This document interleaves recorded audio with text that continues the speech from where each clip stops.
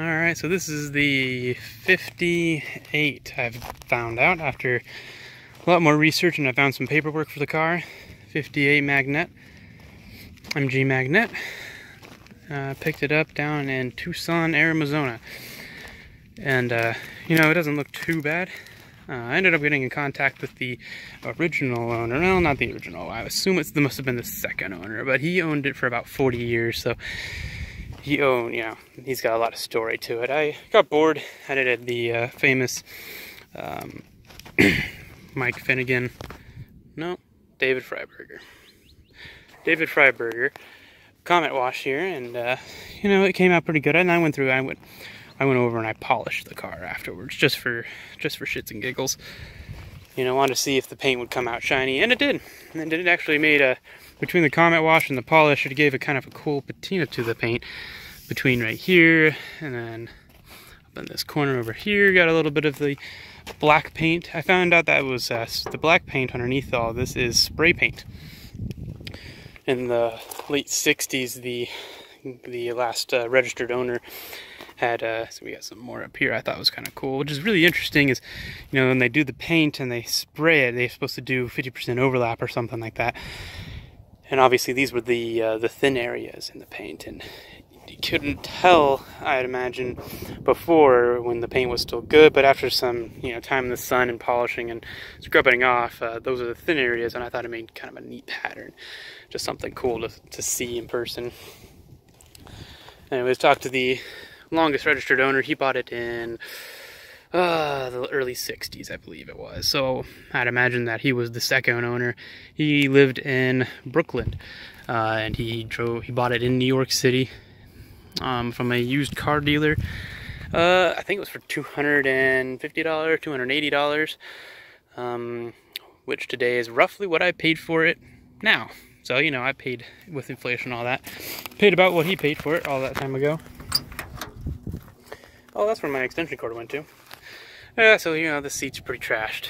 Kind of what you would expect after so long. These are the original seats when I talked to the longest registered owner. Um, we never had them done. I did find quotes for new seats uh, underneath that rear seat back here, but he apparently didn't end up going with that. Um, he did have it repainted, although, and uh, that's how he got it from uh, black back to the original gray. So this is the original birch gray color the car is supposed to be. Um, the, you know, the, uh, I looked on the car. I didn't think there was that much rust to it. He said that it was a bit of a, uh, not a good candidate for restoration, but he's got some fiberglass here. He told me that he had done uh, to give the shape back to the car. Obviously, these panels, I'd imagine, are not very easy to find. I haven't given it a shot myself, but so this, this is fiberglass all the way down to here. So I'll have to figure something after that, find out if the panel is remade. If not, I have some plans to have a new panel made. Um, he did have the engine rebuilt, he said he didn't put very many miles on the new engine before he parked it.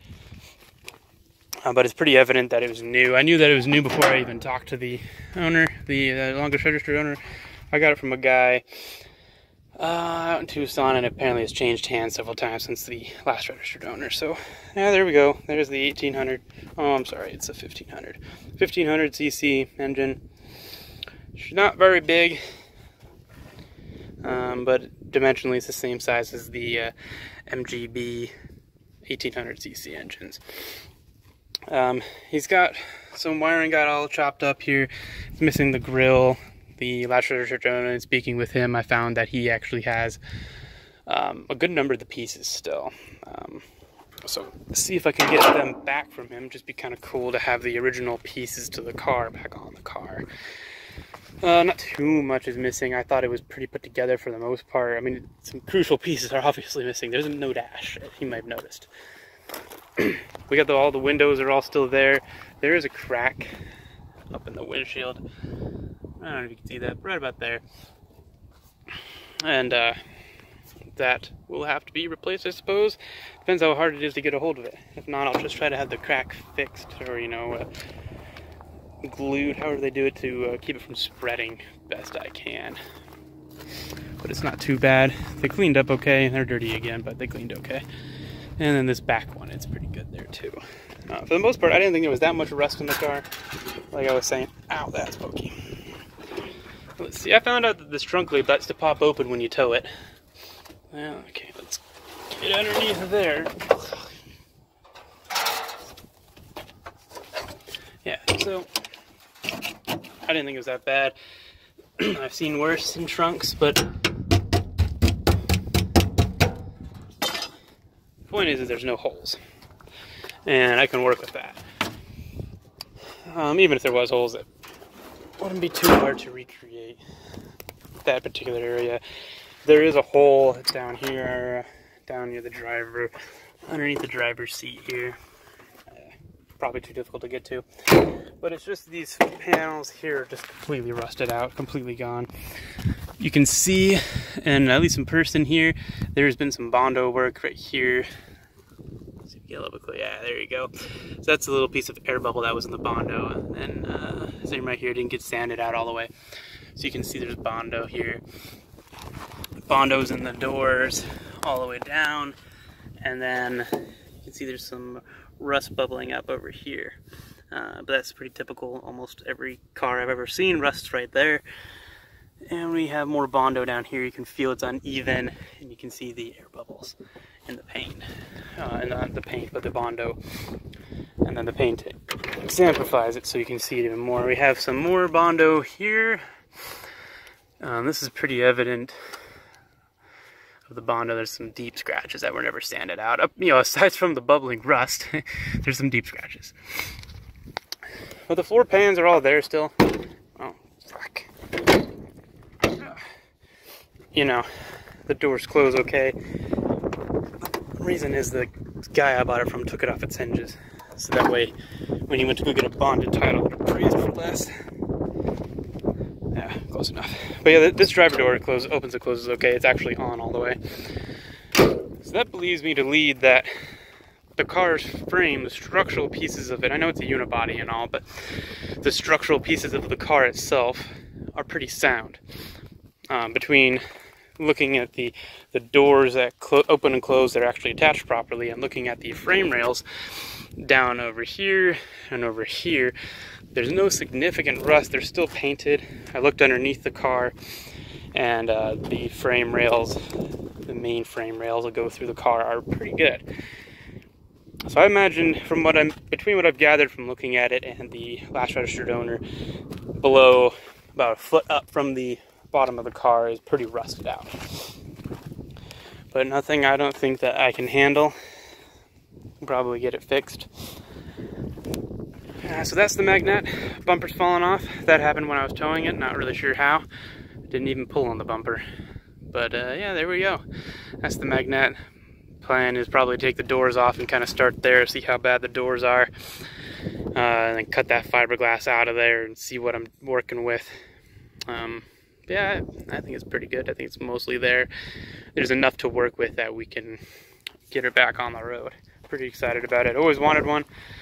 Uh, when I first learned about them when I was about 13, I just like, I want one of those one day. And uh, I didn't think to get one so early in life, but I saw it for sale and it was just like, you know what? What are the chances of another one coming up nearby?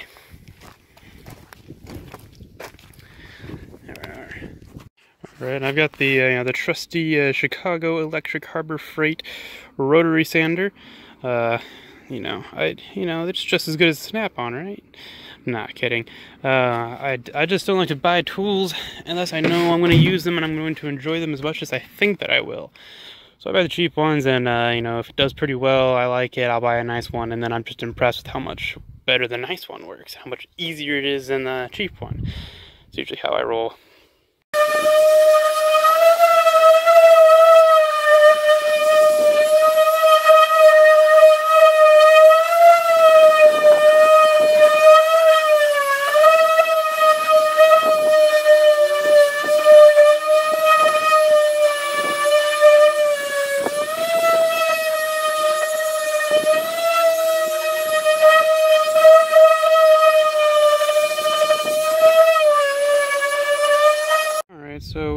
Been sanding here for a while and um, I've gotten down to steel here and um, well I'm not really finding that many holes. There's a big bump over here, some sort of dent maybe.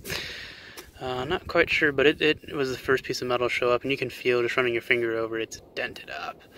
Um, there's a little pinhole here. Got some stuff going on over here. I can see some Bondo here, so maybe this corner is bad. Um, right here we're getting down there, but I mean, not what I was expecting. From what I was being told, this whole area should have just been rusted out.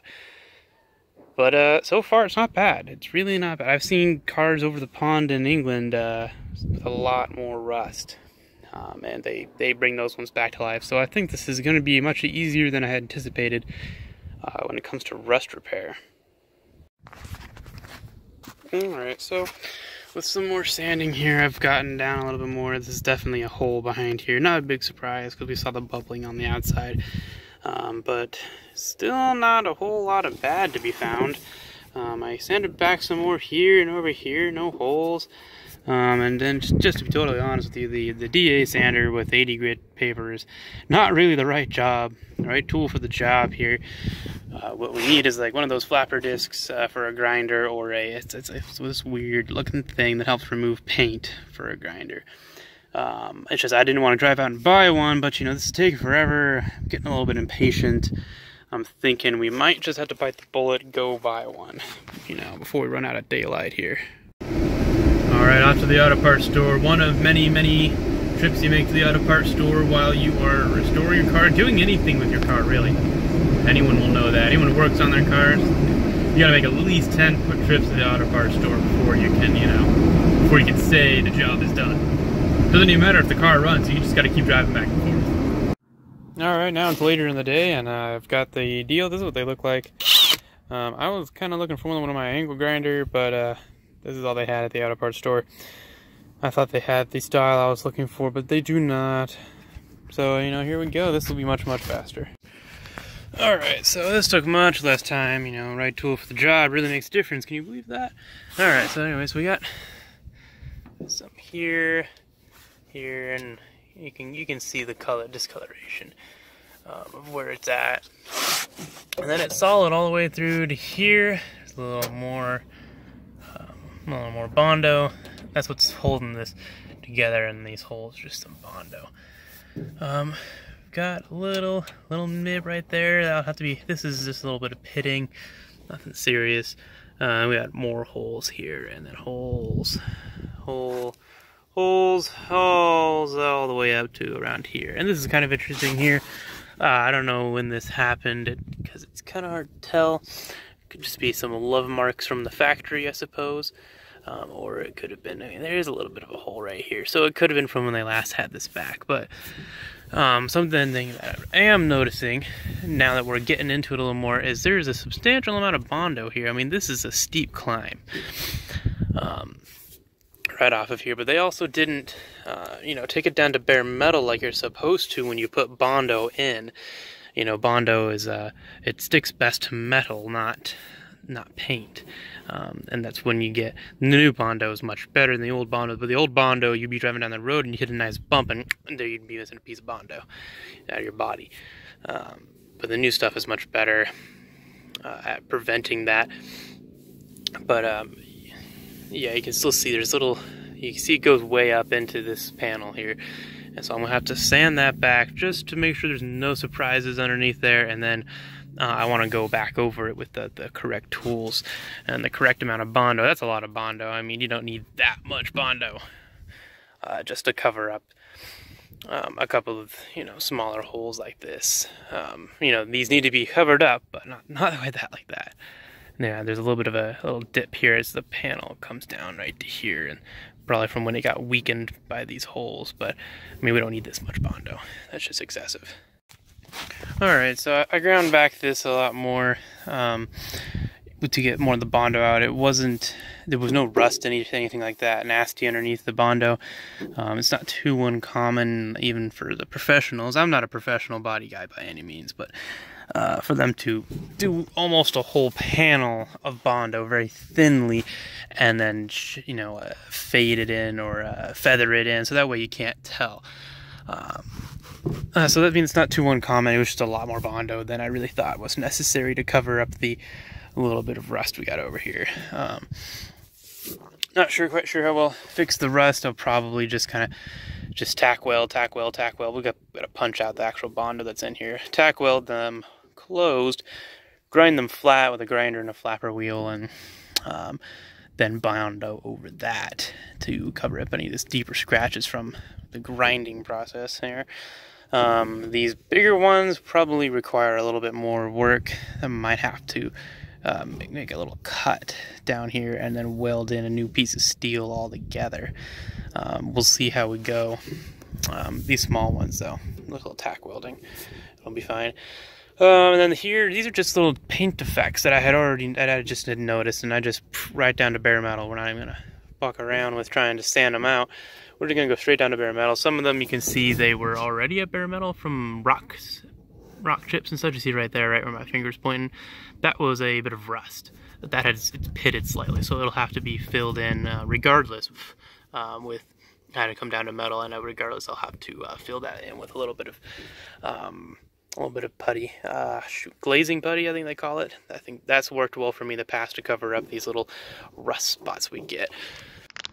Then the, for this panel over here, I know, probably won't be touching it for a little while longer again, you know uh, more than a couple days, and that's pretty bare, fresh metal. We don't want to be having any rust. So I've got some primer here I'm shaking up, and we're just going to put a light mist of that down just to protect the metal, keep it from rusting any more than it already is.